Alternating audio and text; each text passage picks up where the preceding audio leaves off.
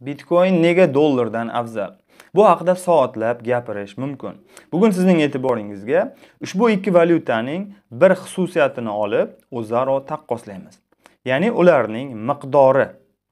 Bilamiz, Amerika Qo'shma Shtatlari dollari hech qanday chegaralanmagan miqdorda pechat qilib muomalaga chiqariladi. Mana bu raqamga e'tibor bering, yuqoridagi kichik raqamga. Jami shu paytga qadar 1960-yildan 2021-yilga qadar 21 trillion AQSh dollari miqdoridagi pul muomalaga chiqarilgan va bu ko'rsatkich davom etmoqda. Ya'ni borgan sari keladigan kelajakdagi yillar davomida bu pul miqdori yana ham oshib boradi. Bu nimaga ta'sir qiladi? Albatta, pulning qadrsizlanishiga ta'sir qiladi.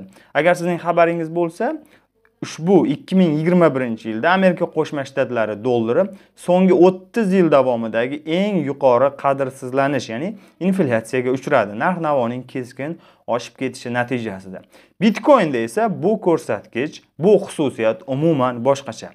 Yuqoridagi raqamga e'tibor bering, Bitcoinda eng yuqori maksimal ko'rsatkich 21 million. Ya'ni jami Bitcoin mining qilish orqali uning muomaladagi eng yuqori yetadigan ko'rsatkichi miqdori 21 milliondan hech qachon oshmaydi. Natijada Bitcoinning miqdori chegaralangan bo'lgani sababli unga bo'lgan talab o'sib, oshib borgani sari uning qiymati dollar kabi pastga tushmaydi, aksincha yuqorilab ko'tarilib boradi do'stlar. Shu sababli ham men ko'pchilikka maslahat beraman. Agar pul yig'moqchi bo'lsangiz, hech qachon dollarda pul yig'mang. Dollar bu doim turgani sari o'z qadrini, o'z kuchini yo'qotib boradigan birlik.